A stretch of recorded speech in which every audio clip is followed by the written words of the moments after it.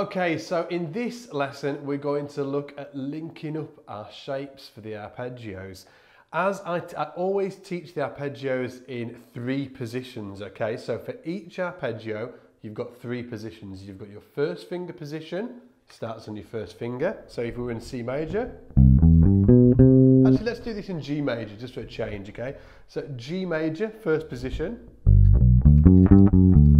That's a one octave arpeggio starting on your first finger. Then you've got your second finger position, starting on your second finger. Okay, that's the second finger position. And then your fourth finger position starts on your fourth finger, you would think, eh? Um, but what we do to get longer arpeggios, because sometimes you might be playing a solo or a groove, you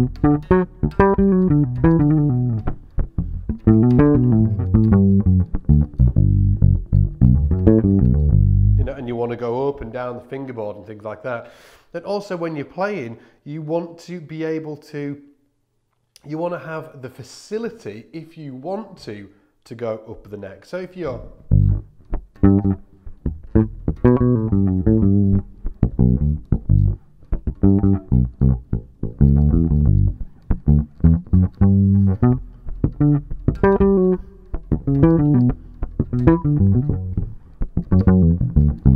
you know, how am I putting all this together? Um, and I'm putting it together by linking the the arpeggios that I've shown you over the, the past few lessons by linking your um, one octave patterns.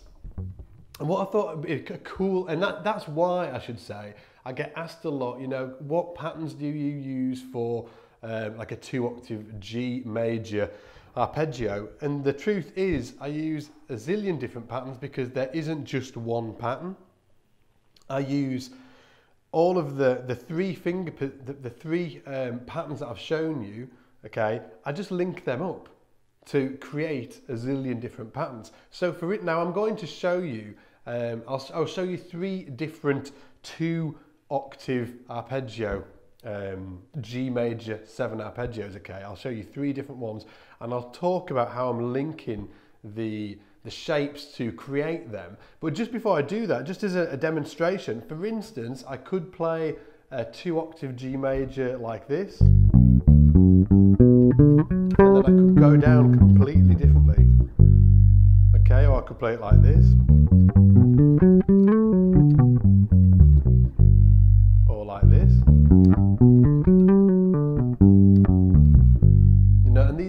Fingerings I've really memorized, I can just see the patterns so I can link up or see the fingering, then one octave fingering patterns that we've, we've been learning over the last few lessons. So just to show you how this works in practice, okay, um, let's look at the G major 7 and we're going to start off, let's say, with the second finger position, okay? So we're going to play a one octave G major 7 arpeggio? Mm. So Now when we get to here, I want to carry the arpeggio on. So let's take, so we, we get to that G there. Let's take, let's take, let's borrow from the same pattern that we were using before, okay? So we've got G, B, D, F sharp, G. But when we get to that G, let's put our second finger on that and then start that same pattern again. That second finger,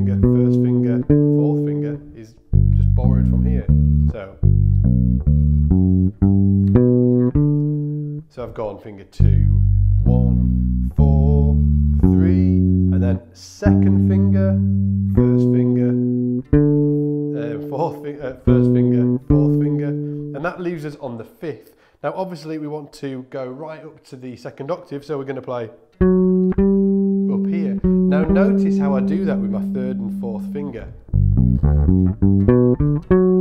I'm doing it with my third and fourth finger of this hand because I'm borrowing, or not borrowing, I'm viewing the, the G major 7 arpeggio shape there from my second finger position, starting on the second finger. So as I go up, I automatically play it with my third and fourth because I know if I come back down, I can use that Okay, so again, let's look at that fingering. So I think somebody's building a building a wall next door all the clanking. Um, so let's go up the G major again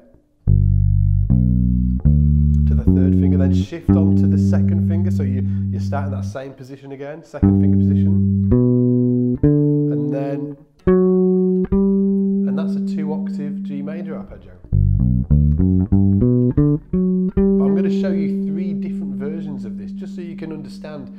mix and match the patterns to create the longer runs. Now for argument's sake, let's go down exactly the way we came up.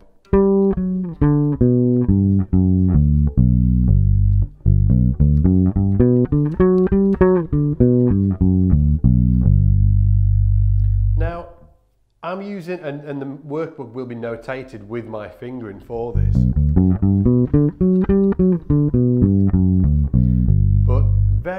You know, a lot of the time, my fingering, it's very efficient, but it, it's not, you know, it's not really cemented down when I'm playing something like that. A lot of the time, a lot of the time there, for instance, I'd slide that F sharp with my third finger to the G and then go in my first finger like this.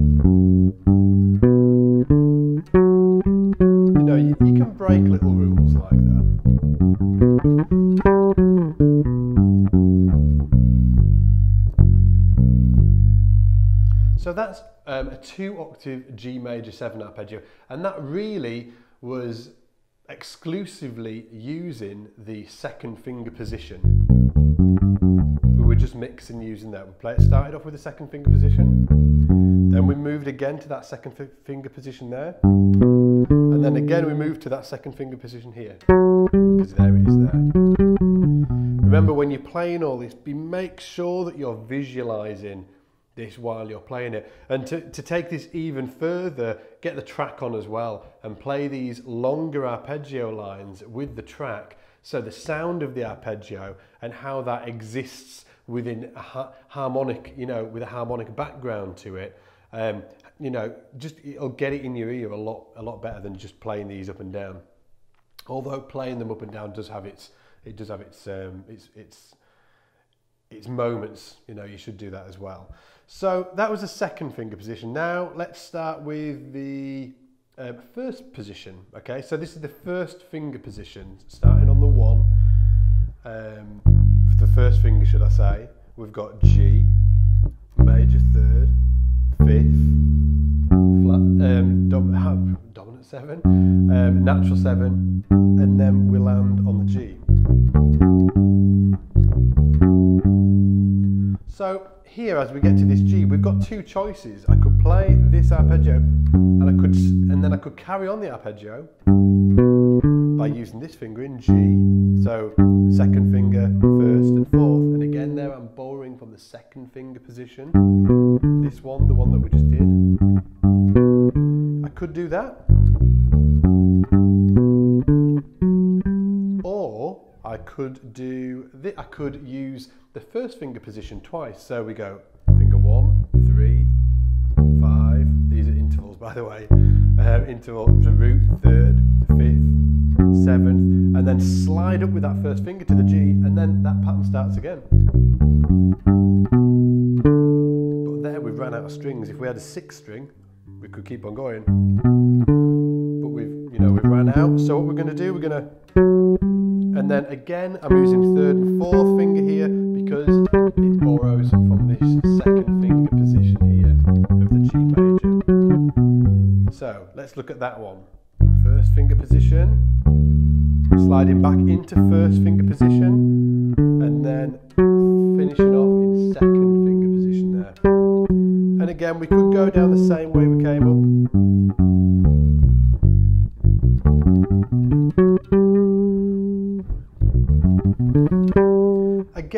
I mentioned earlier, sometimes the fingerings, you can mess around with them. If I was playing this on the job, you know, in action, I'd probably play that with my fourth finger, that last um, F sharp there, and slide into the G.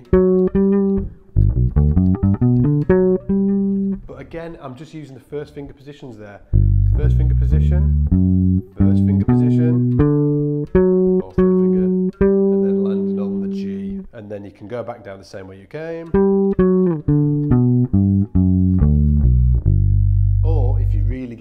And you start seeing your positions, you can go down a completely different way. And we'll do that in one minute. Okay, so the next one that I want to look at is let's start off with the first position.